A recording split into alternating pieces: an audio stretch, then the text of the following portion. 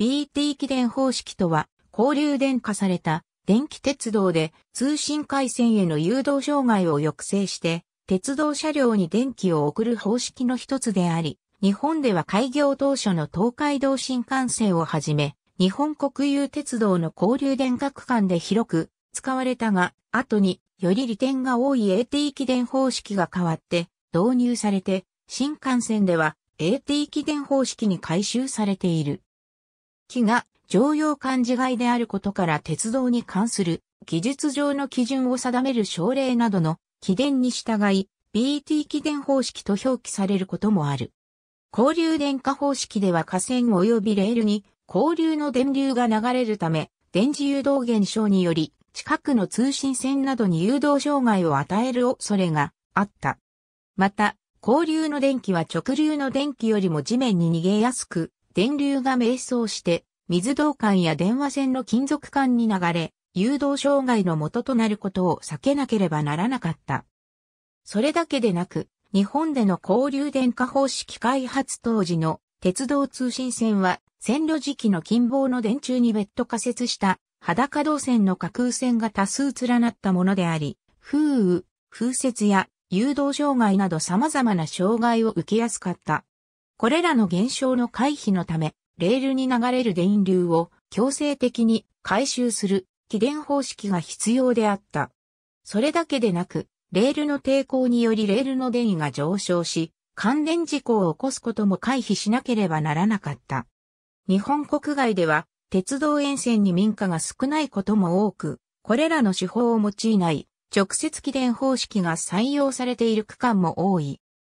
誘導障害打ち消しのため、相互に逆向きである、気線電流と河川電流を接近配置させて電磁誘導を相殺して通信障害を抑制することが考えられて、レールの気線電流を河川直近の気線用の電線に吸い上げる。方式として巻線比が1、1で極性が互いに逆方向の球状変圧器を約 4km ごとに並べ、BT を介してレールに流れる。気線電流を吹き電線に配流するシステムである。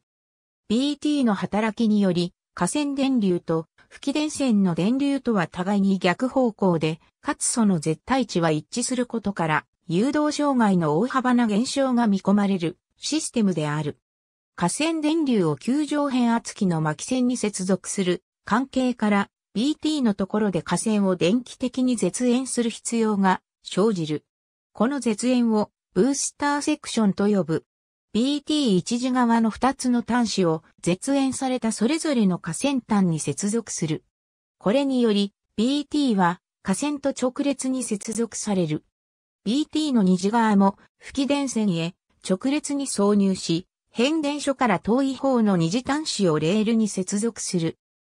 すると、河川から車両に向けて流れる電流は、BT の一次側を通り、BT の関数比は1、1であるから、それと同じ大きさの電流が BT によって強制的にレールから吹き電線に吸い上げられるため、車両から変電所に帰る電流は必ず吹き電線を通ることになる。同時にレールを流れる電流は直近の BT にて吸い上げられるので、レールの電位上昇を抑えることも可能になる。交流電化の線路では、レールは漏れ電流を少なくする目的で同床と絶縁体を挟んで締結してあるので、レールを流れる気線電流は大地に寄り道せず、高々1セクションしか気線電流は流れず BT を介して吹き電線に吸い上げられることになる。BT 起電方式の原理図 BT 起電方式では約 4km ごとにブースターセクションを設ける必要がある。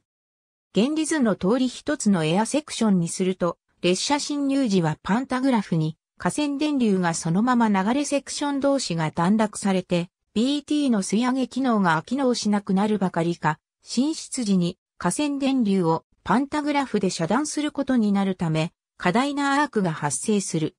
これを防ぐため、エアセクションを2つに分割し、抵抗によって電流を制限することでアークを抑えることとした。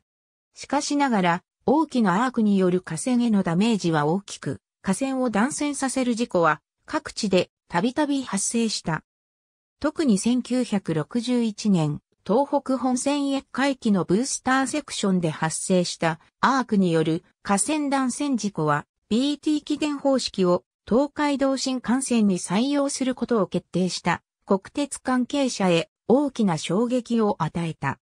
新幹線ではブースターセクション通過ごとに打行を運転するのは高速運転の支障となるため、東海道新幹線、ブースターセクションを3つに分割し両端を抵抗を介して給電する対策を施した。ブースターセクションという弱点を抱えつつも、当時の通信線の妨害耐性が低く、汽線電流を確実にで吸い上げる BT 方式が後期の関係もあって選ばれ、分布的な解析がやりきれなかった単管変圧機を用いる AT 起電方式は避けられた。BT 起電セクション構造図 BT 起電方式を採用した交流区間を走る動力車は電気的に接続されたパンタグラフを複数上げることができない。もし電気的に接続された2つのパンタグラフを上げたままブースターセクションを通過すると、セクションを短絡してしまい、BT の機能を失わせてしまうばかりか、大きな河川電流が動力車の特別高圧母線を通過してしまう。これを防ぐため、在来線車両と0系車両や100系車両の1、編成内の各電動車ユニットを独立させて、それぞれにパンタグラフを1機設けることにした。したがって16両編成で0系は8機、100系は6機、パンタグラフが近接して並ぶことになった。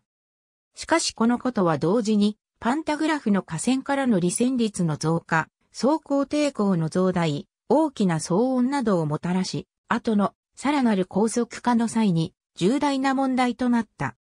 また設備側でも電磁誘導による障害の発生、多数のパンタグラフによる河川の摩耗や振動、ブースタートランスが一機でも故障するとその区間の列車運行ができなくなるなど問題が多かった。そのため、ブースターセクションが不要である AT 機電方式が後の交流電化の主流となり、山陽新幹線、東北新幹線、上越新幹線、新規交流電化在来線などは、この方式が用いられている。なお、東北、上越新幹線の開業にあたって製造された初期の200系は、特に上越新幹線や将来の北海道新幹線への延伸など、渋滞設装備を考慮した形式だったため、河川への着氷を考慮して0系同様ユニットごとのパンタグラフ設置となっていた。しかし営業運転速度の向上に伴う騒音対策のため200系1000番台以降では、その後の E1 系などの新型車両のように特高圧引き通線の採用によってパンタグラフの数を削減している。東海道新幹線では輸送力増強のための変電所増強策を兼ねて1984年から AT 機電方式と校内同一機電方式への変更が始まり、1991年に完成。これによって校内移送セクション短絡問題とブースターセクションでのアーク問題がなくなった。東北、上越新幹線の車両同様に特高圧引き通線で編成全体が引き通されてからは、パンタグラフの並列運転が可能となり、騒音発生源であるパンタグラフを16両編成で最終的に3機まで減らすことができた。望みに充当する300系では、当初3機のパンタグラフを装備していたが改良により、パンタグラフを2機にまで減らすことができた。このように欠点の多い BT 起電方式であるが、河川と並列につなぐ起電線が本質的に不要なことと、レールから吸い上げた電流を通す気線がレールと同電位であるため河川柱の構造はシンプルで済む。一方で AT 気電方式の気線、AT 気電線は河川電圧と同じだが逆極性の電圧のため、電線相互には河川電圧の2倍の絶縁を要する。そのため AT 気電線は離角距離を大きく取るばかりか、絶縁に使用する外資も河川電圧の2倍を見込む必要があるため、河川柱への総柱は設計に困難があり、BT 起電方式から AT 起電方式への変更は費用的に高くつく。それゆえに BT 起電方式から AT 起電方式への変更は輸送力増強のための変電所強化が必要となった東海道新幹線の例にとどまり、2010年現在も在来線では BT 起電方式の区間が多く存在している。ありがとうございます。